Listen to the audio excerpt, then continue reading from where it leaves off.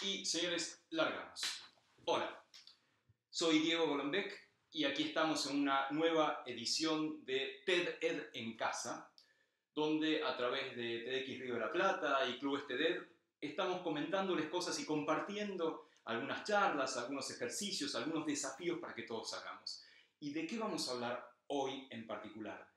Vamos a hablar del tiempo, sí, del tiempo, pero no de cualquier tiempo, no del tiempo que está ahí afuera, sino del tiempo que está acá dentro, de cuánto pasa el tiempo. Y es particularmente relevante para estos días que estamos todos guardados, chateando con los amigos o hablando con el gato o lo que fuera. ¿Qué pasa con el tiempo del lado de adentro? ¿Se estira? ¿Se comprime? ¿Es fijo? Y vamos a hacer algunos experimentos para esto y después les voy a pedir un desafío para que todos ustedes hagan en casa y nos vayan mandando, vayan etiquetando a arroba clubesteded.ar y van a ver que hay un premio interesante. Sí, seguramente han estado siguiendo varios de, los, de, de las charlas que hubo en estos días. El tiempo entonces. ¿Por qué es importante saber percibir el tiempo? ¿Por qué es importante saber que pasaron 5 segundos, o 10, o un minuto, o una hora, o dos días? Imagínense en la naturaleza la importancia que tiene la percepción subjetiva del tiempo. Una mosca tiene que calcular el tiempo desde el zapatazo hasta que llegue para salir volando. Si no puede calcular eso, es mosca muerta contra el vidrio. Un bicho tiene que saber qué tiempo pasa hasta que tiene un predador o una presa. Nosotros mismos tenemos que saber si acabamos de decir algo en 15 segundos, en un minuto o en 10 minutos. Eso es lo que se llama estimación subjetiva del tiempo o percepción subjetiva del tiempo. Y somos bastante buenos para esto. ¿Por qué? Porque tenemos relojes en el cerebro. Esos relojes son de distinto tipo. El reloj que mide que pasan segundos o minutos no es un aparato, no es un coso que tenés acá adentro, sino que es una serie de circuitos que están en el cerebro entre la corteza, la parte de la cáscara del cerebro, y la parte más profunda del cerebro. También tiene mucho que ver con lo que hagamos. A ver, si yo fuera ahora a agarrar el celular, ¿qué tengo que hacer?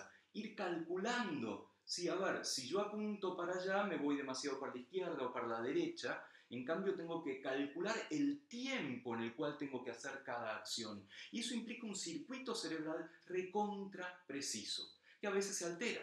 Hay enfermedades en las cuales se altera, ponele en el Parkinson, en algunas enfermedades neurológicas o psiquiátricas, se altera este sentido del tiempo. Pero no les voy a hablar de enfermedades. Vamos a hablar de nosotros, de cómo se puede alterar el sentido del tiempo en nosotros mismos, en una situación normal y en esta situación de cuarentena y en todo lo que nos vaya pasando. A ver, primero, ¿somos igualmente precisos para estimar cualquier tipo de tiempo? Ejercicio número uno. Me voy a quedar callado un ratito, ¿sí? Y ustedes cuando termine, cuando empiece a hablar, quiero que estimen cuánto tiempo me quedé callado. Uno, dos, largo.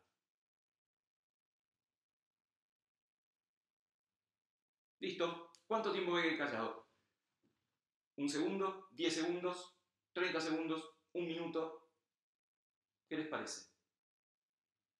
Seguramente la mayoría de ustedes estimó bastante correctamente. Si yo estimé bien, me quedé callado unos 5 segundos. De hecho, nuestro cerebro está especialmente preparado para estimar 2, 3, 4, 5 hasta 8 segundos somos una máquina, estimamos fenómeno. ¿Qué pasaría ahora si yo me quedara callado un minuto, dos minutos, cinco minutos? La pifian.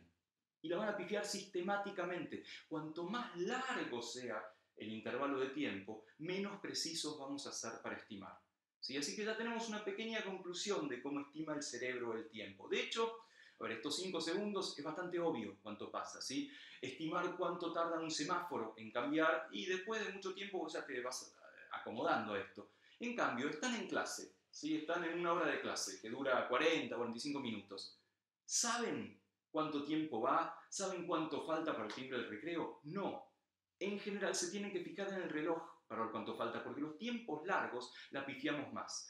No solo la pifiamos más, sino que somos mucho más variables. ¿Qué quiere decir esto? Si mucha gente estimara 5 segundos o 10 segundos, la mayoría de la gente estaría estimando alrededor de esos 5 segundos. Algunos estaría estimando 4, otros 6, otros 7, 8, lo que fuera, pero todos muy así. La mayoría estaría en un pico en lo que se llama una distribución normal o gaussiana. Si yo les pido estimen ahora 30 segundos, 45 segundos, 2 minutos, no, algunos van a estar bien estimando ese tiempo y la mayoría van a estar lejos. La variabilidad va a ser mucho mayor. Otra de las propiedades de estimar el tiempo. Yo les decía hace un rato que este tiempo que estimamos es variable, no es fijo. ¿Qué quiere decir esto?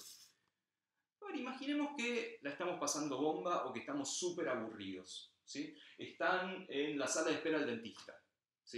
O están con amigos, chateando, jugando, estás con alguien que te cae bárbaro, de fuera, charlando. ¿No es diferente el tiempo? ¿No se estira muchísimo el tiempo subjetivo si estás aburrido o si no pasa nada. Mientras que si por el contrario la estás pasando bomba, el tiempo parece ir mucho más rápido. Y es así, y hay muchos experimentos que demuestran que es así. Tu estado de ánimo puede estirar o comprimir el tiempo. Así como lo dicen, tienen una máquina del tiempo en el cerebro que es capaz de estirar o de comprimir ese tiempo.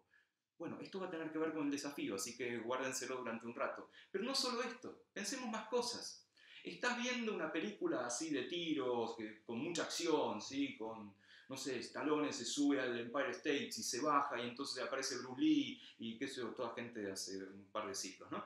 Bueno, parece que la película te dura media hora finalmente. Y ahora vas y pones una película iraní.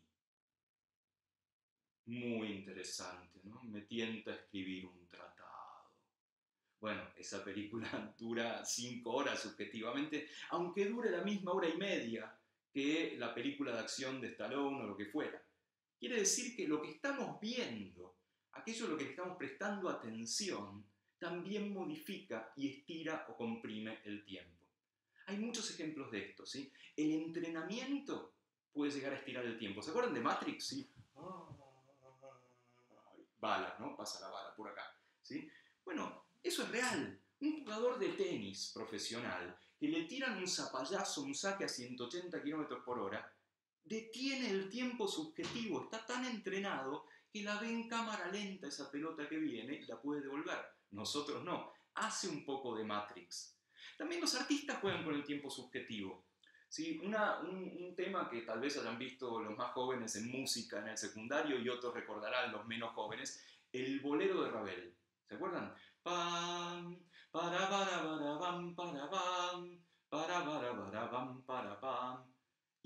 final, ese bolero es esa misma canción que se repite una y otra vez, una y otra vez, una y otra vez. Y al final es pam, pam, pam, No, ¿saben qué? Los últimos compases del bolero de Ravel también son pam, parabam, parabarabam, parabam. De hecho, Ravel dijo, no se me vayan a apurar, niatos, ¿eh? ¿Qué es lo que hace? Sube el volumen, le pide a la orquesta que toque con todo y al tocar con todo, esa parte final parece mucho más rápida. ¿Se dan cuenta de cómo se puede estirar y comprimir el tiempo subjetivo?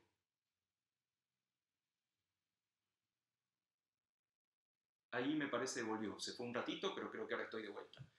Hay muchas maneras de hacerlo. Y para entender una de esas maneras, vamos a invitar al invitado especial, para que nos muestre un poco cómo es eso de estirar o comprimir el tiempo. Y esto, permítanme ver si lo hago bien.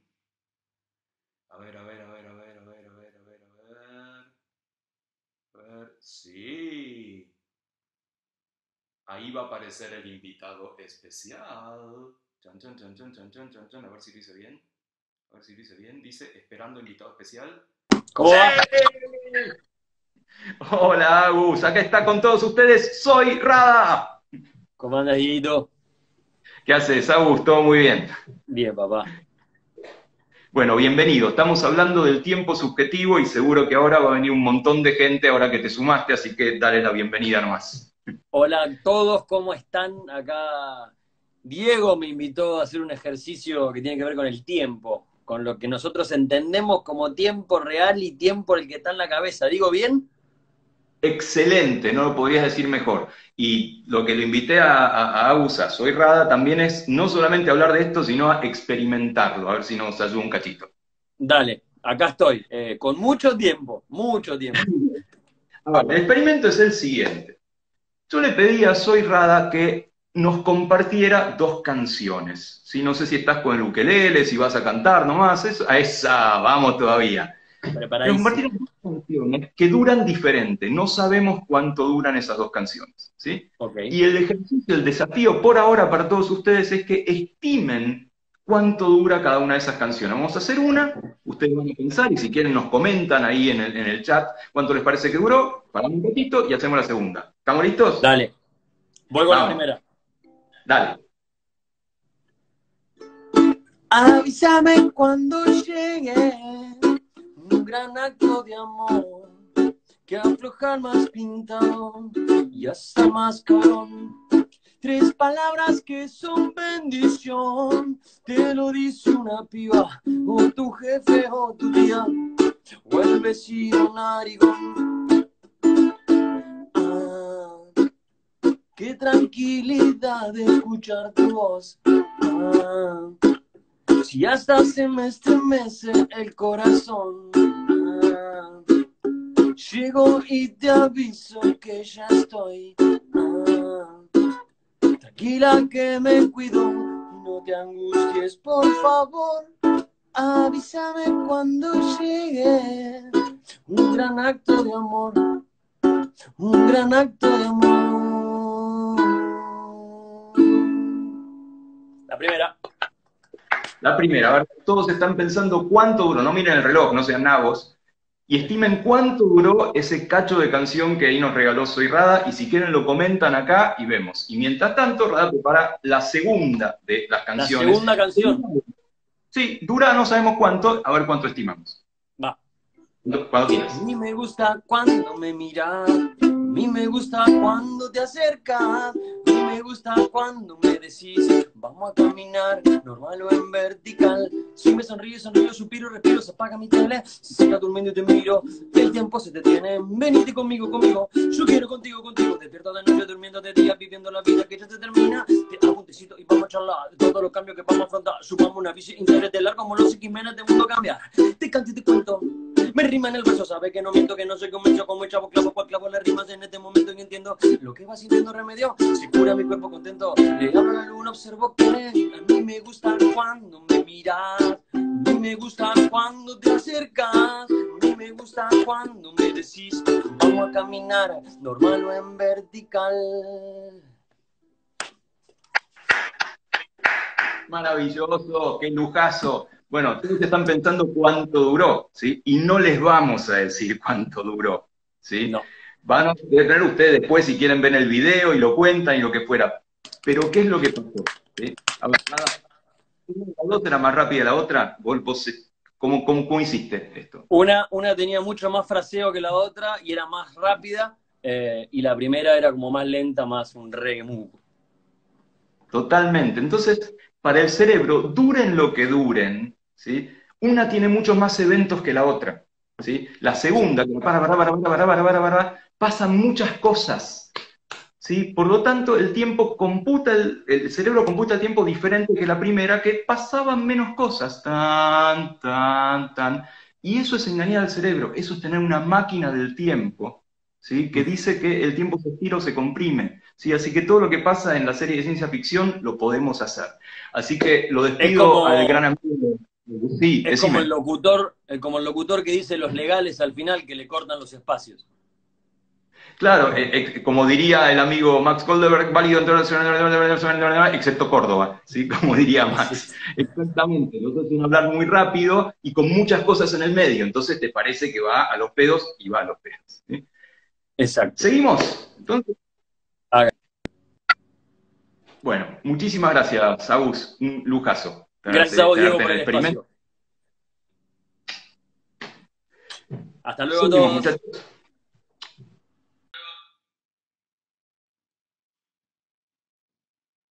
Uy, lo eliminé a su irrada, no sé si se bien. Ahora viene el desafío. El desafío para todos los que tengan ganas, es hacer de científicos. Es diseñar un experimento, escúchenla bien, para comprimir o estirar el tiempo.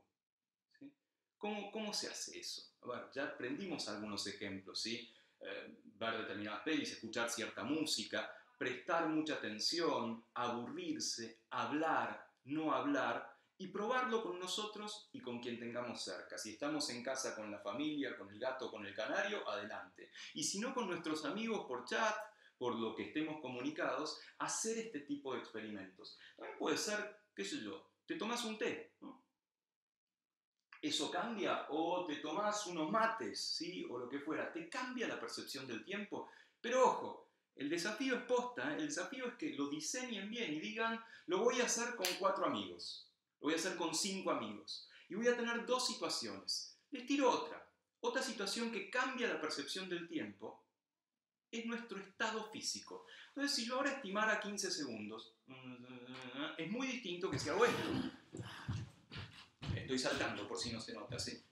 Salto un rato, hago ejercicio, ejercicio, ¿qué va a estar pasando? Mi frecuencia cardíaca va a cambiar. El corazón va a empezar a latir mucho más rápido. Y yo voy a empezar a respirar mucho más voy a estar como jadeando y el corazón va a latir más rápido. ¿Qué pasa con la estimación del tiempo ahí? ¿Qué pasa si están en su casa y dan un par de vueltas a la habitación o si tienen terraza a la terraza o lo que fuera y después estiman esos 15 segundos? ¿Da lo mismo que haberlo hecho relajado? ¿Qué pasa si hacen un experimento tipo Tai Chi Chuan? ¿El tiempo cambia si vos te moves en cámara lenta? De nuevo, la variable para el desafío es estimar, por ejemplo, 15 segundos. Se puede hacer con 30, ya más. La variable es estima en 15 segundos en distintas situaciones. El desafío es ver quién puede estirar o comprimir el tiempo lo máximo posible, el tiempo subjetivo, el tiempo del lado de adentro. ¿Se animan? A ver, ¿cómo sería eso? Lo que les pedimos es que hagan este desafío que lo posteen, que lo compartan y también pongan a arroba clubesteded.ar, así sabemos bien de qué se trata. Nosotros vamos a elegir con la gente de, clubes, con la gente de TEDED, al mejor posteo, el mejor experimento de estos, el que mejor haya estirado o comprimido el tiempo, y se van a ganar eh, dos entradas para TEDx Río de la Plata.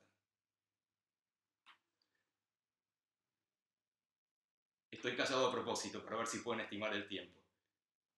Esto, señores, también es hacer ciencia. Y es hacer ciencia en casa, es, es hacer clubes TED en casa y es pensar científicamente. Y esta situación de esta cuarentena es ideal para hacer este tipo de experimentos. La verdad que, bueno, muchísimas gracias. Ha sido un honor contarles esto que hacemos en el laboratorio sobre estimar el tiempo, proponerles un desafío. Estoy seguro de que van a ser unos experimentos tremendos y el lujazo de tener a Soy Rada con nosotros con dos canciones breves que les aseguro que funciona. Cuando vean el video, pongan un cronómetro para ver qué pasó. Ah, bueno, aclaración importantísima, si el experimento se controla con un cronómetro. Uno estima 15 segundos, prende un cronómetro en algún lado y cuando termina aprieta y se fija, uh, mira, medí 13, medí 20, con lo que fuera, si, si no, no funciona. Y lo otro es, la ciencia tiene una cierta ética, si da eso, da eso y San se acabó. ¿Ok? Señores, esto fue TEDED en casa, ¿sí? A través de la cuenta arroba clubested.ar. Hablamos sobre el tiempo del lado de adentro y todos los días le llevamos algún contenido, alguna charla, algún desafío. El desafío de hoy es estirar o comprimir el tiempo, postear el resultado, ¿sí? taguear a arroba clubested.ar y nosotros vamos a ver y comentar todo eso. Chao, un enorme placer y pásenla bien y estiren el tiempo, que vale la pena.